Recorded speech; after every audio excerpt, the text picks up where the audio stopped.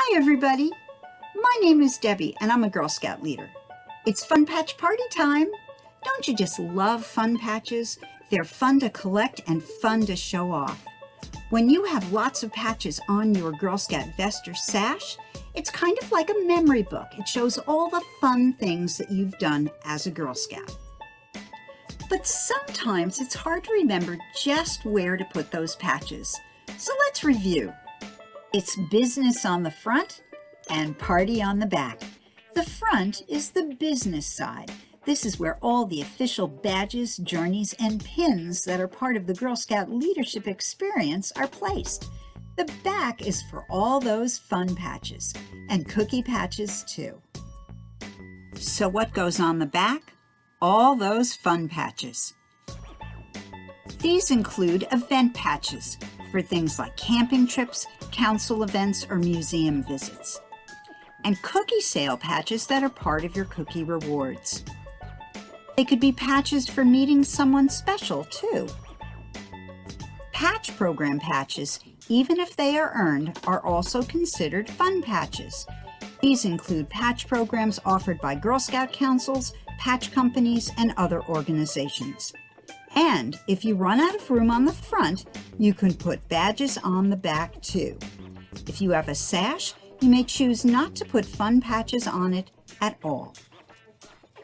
The way you place your patches is up to you, but I recommend that you start putting them on the bottom and work your way up. That way, if you need to put badges on the back of your vest, you can start those at the top. Put your patches close together and choose wisely. But what do you do if you have too many patches?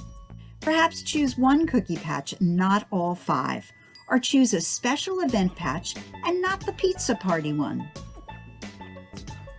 Girl Scouts love their patches and have come up with some creative ways to show them off. Some will add extensions or capes to a vest or even wear additional sashes over them. Another method is layering or fish scaling patches, but that adds a lot of weight to your uniform. Keep in mind that any alterations to your vests are unofficial and must be removable for your uniform to be worn for ceremonies or when representing Girl Scouts in the community. So where can you put your extra patches?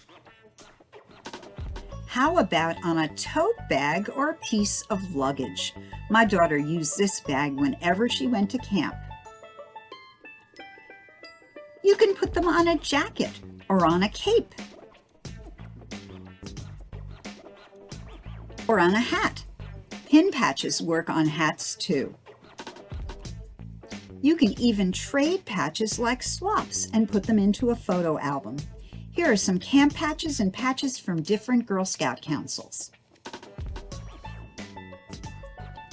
Or you can take a lesson from our sister girl guides and put them on a camp blanket. Many girl guides put a hood in the center and turn their patch blankets into wearable ponchos. It's a great way to keep warm and cozy at camp. And yes, you will have to learn how to sew. I recommend getting a thimble to use with those extra thick patches.